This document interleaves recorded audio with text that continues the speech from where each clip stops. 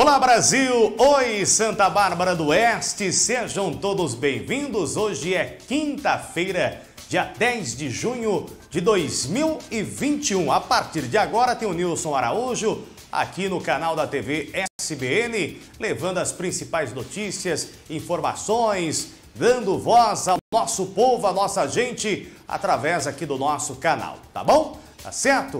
Vamos que vamos! Olha aí, então vamos colocar aqui o WhatsApp. Esse é o número que você pode enviar é, vídeos, áudios, né? Aqui para nossa redação e interagir, participar. 99782 4426. Compartilhem aqui o nosso jornal de hoje. Se inscreva no nosso canal, clique no gostei e ative o sininho. Tá falado, minha gente? Então, vamos que vamos, vamos que vamos, que hoje o tempo tá gostoso, né? Tá bom, mudou, tá fresquinho. É, vai garoar por aí, viu? Ao mesmo tempo que tá gostoso, mas também tá, o tempo tá meio se chove, não chove, mas vamos ver o que São Pedro vai decidir é, durante o dia, né? Olha, é, Santa Bárbara do Oeste inicia hoje, ufa, aleluia! Ei, governo do Estado de São Paulo, Secretaria de Saúde do Estado, olha, tá mais do que na hora para tentar acelerar a vacinação em todo o estado, em todo o país. E a partir de hoje começa a vacinação contra a Covid-19 para pessoas com deficiência permanente, tá bom? Isso mesmo, só que olha aí, você não precisa comprovar. Isso, não precisa comprovar. 18 a mais anos, tá bom? Tá? Então, você que tem aí o. É, é, às vezes não tem, na verdade, o BPC, que é o benefício de prestação continuada, você hoje vai ser inserido aí nesta faixa etária. Ontem, aliás, teve início a vacinação para os profissionais da educação de 45 a 46 anos, grávidas e púperas sem comorbidades com 18 anos ou mais. As pessoas com deficiência permanente que não estão cadastradas no benefício de prestação continuada poderão comprovar a condição por meio de apresentação de laudo médico que indique a deficiência, né? Ou comprovação do atendimento em em um, algum centro né, de reabilitação ou unidade especializada aqui no município de Santa Bárbara do Oeste, tá bom? Então, vacinação aí para os deficientes, né, gente? Que eles, eles precisam. Aliás, não é esse o, o, o slogan do SUS, né? Para os que mais precisam. Aí, aquela, aquela situação que nós até citamos aqui ontem no Jornal da TV SB Notícias, que tinha que ter aí o benefício, que tinha que comprovar. Oh, minha gente, os deficientes permanentes, eles precisam dessa vacinação. Teria que já ter é, é, entrado aí nesse grupo prioritário há muito tempo. E os professores também, né? Os professores, é, o governo do estado antecipou aí agora a vacinação para 15 dias, né? Do calendário que teria sido divulgado já, já foi divulgado, então antecipou para 15 dias. A campanha começa então a imunização no dia 16 deste mês de junho. Tá bom, minha gente? Olha, então para os professores de 45 e 46 anos teve início ontem e amanhã, sexta-feira, para os profissionais da educação de 18 a 44 anos, hein? Olha que notícia boa, né? Que notícia boa aí para a área da educação aqui em Santa Bárbara do Oeste, em todo o estado de São Paulo. A vacinação para os, para os professores é, estava é, previsto para os dias, né? entre os dias 21 e 31 de julho. É, então amanhã já, sexta-feira, começa. Mais de 1 milhão e 200 mil pessoas né, que atuam na educação básica, é, é, tanto é, pública ou privada, vão tomar a vacina já a partir de amanhã. Só que daí tem que ter o QR Code, né? Isso, o QR Code, o cadastro lá no Vacina Já.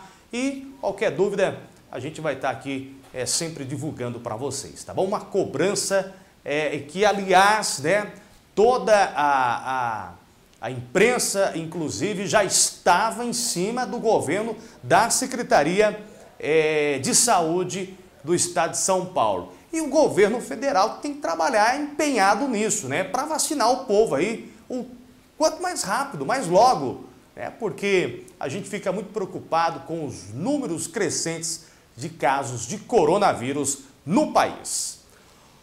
Vamos falar de solidariedade? Quando a gente fala de solidariedade, isso é muito bom, né? Porque isso faz a gente é, ter mais motivação para viver.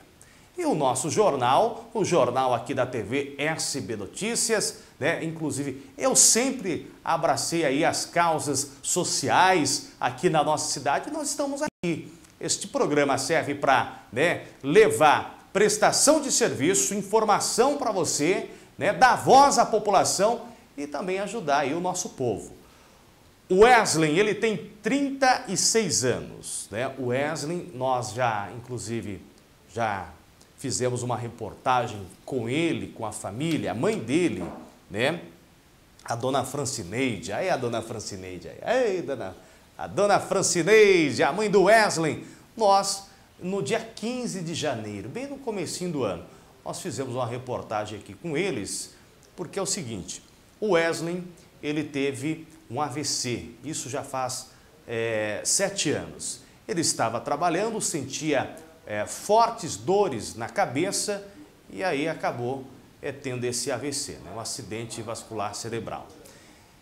E ele ficou de, de, de cadeira de rodas, né? E só que agora a cadeira de rodas dele, é, motorizada, precisa ser trocada, porque já está bem desgastada.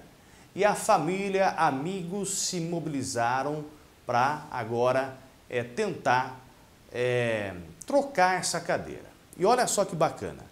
O grupo Amigos da Alegria, aqui de Santa Bárbara do Oeste, eles estende, estão estendendo as mãos. E veja só, vem aí a Pizza da Alegria. Isso, a Pizza da Alegria, dia 3 de julho, cada pizza por R$ 32,00, calabresa, mussarela, americana, abobrinha, uma delícia, né? Abobrinha frita já, é vegetariana, é. é. E também é, frango catupiry, né? Isso, é frango catupiry para o dia 3 de julho, tá? Para ajudar aí, né, é, recursos para troca desta cadeira de rodas motorizada, que custa em torno de 19 mil reais. 19 mil reais. Então nós vamos ter que vender muita pizza, né? Vamos ter que vender muita pizza até o dia 3, né? Para ajudar o nosso querido é, Wesley, tá? Wesley lá do Jardim Orquídeas. O telefone para você né, fazer sua reserva, sua encomenda, é o 991447123 ou o 99147, o perdão, 996113113, tá certo? Vamos ajudar o Wesley, vamos abraçar essa causa aqui junto com o nosso Jornal da TV SB Notícias e também com o grupo Amigos da Alegria. Nós vamos estar sempre divulgando aqui no nosso jornal diariamente para que você possa adquirir aí, tá bom? Tá certo? Pessoal aí do, do Jardim Orquídeas, né? Laranjeiras, é, Barão, Vila Rica, toda essa região. O Wesley é muito conhecido ali, né? A dona Francineide é muito conhecida. E vamos arrecadar, vamos ajudar aí, né? Para ele ter uma melhor mobilidade aí na, na cadeira de rodas motorizada dele, tá bom? Minha gente, quero agradecer a você que sempre acompanha aqui o Jornal da TV SB Notícias. Lembrando, se você tiver uma reportagem, uma sugestão, entre em contato conosco. Olha aí, é, através do 997824426. Erasmo Francisco, aquele abraço, Erasmo! O Erasmo, você hoje questionou sobre a, estrada dos italianos para a continuidade das obras, né? Nós vamos estar aí é, pedindo informações ao município de Santa Bárbara do Oeste, porque realmente você tem razão e muitas outras é, pessoas, inclusive, já é, é, falaram para mim, né, para nossa equipe aqui, de que vai dar continuidade ao, ao asfalto lá ou não, né? Então, nós vamos estar trazendo informações, porque parou, né? Parou o, o, o asfalto, né?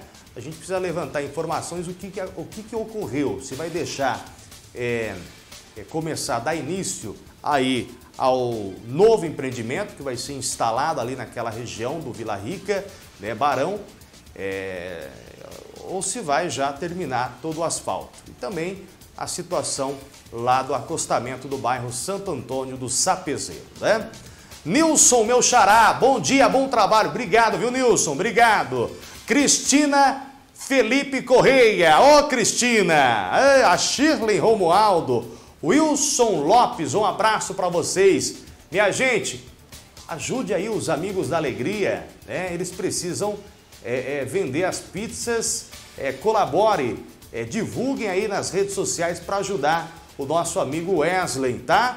É isso aí, em prol a uma nova cadeira de rodas motorizada, tá bom? Tá certo? Vamos ajudar? Vamos lá!